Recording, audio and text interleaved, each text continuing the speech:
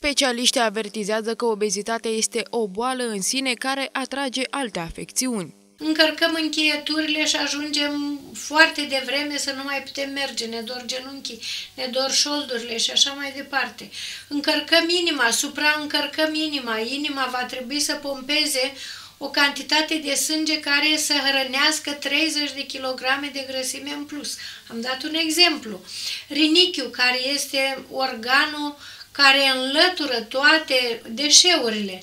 Ei, el va fi supra-solicitat să elimine mai multe deșeuri decât ar fi avut o greutate normală.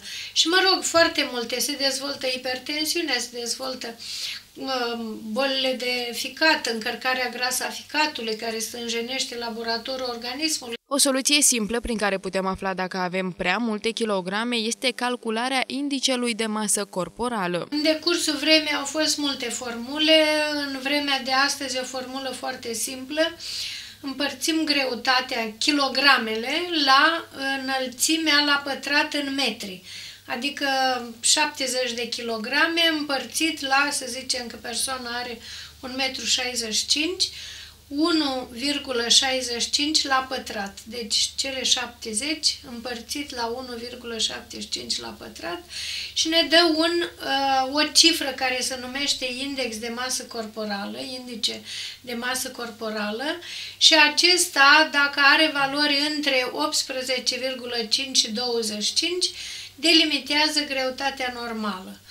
Dacă este între 25 și 30, denumim noi supragreutate sau suprapondere. Iar peste 30 avem trei categorii de obezitate, gradul 1, gradul 2 și gradul 3, până la acest indicator de 45 și peste 45 denumim uh, obezitate severă sau monstruoasă.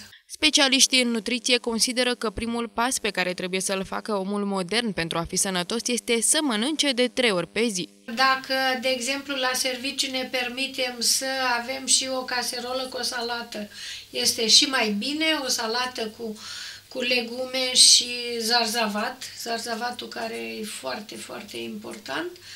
Uh, și pe lângă asta, o proteină de bună calitate, o brânză, o carne, un pește, ce ne putem permite, cine își poate permite felul 1, felul 2 și mai bine, adică o supă sau o ciorbă și felul 2, o fripturică, un grătărel cu o salată și felul 3 o fructă, asta este un, uh, un prânz foarte sănătos. Un studiu recent arată că obezitatea extremă reduce speranța de viață mai mult decât fumatul și poate duce la deces din cauza accidentelor vasculare. Pe plan mondial, aproape 30% din populație, adică 2,1 miliarde de persoane, sunt supraponderale sau obeze.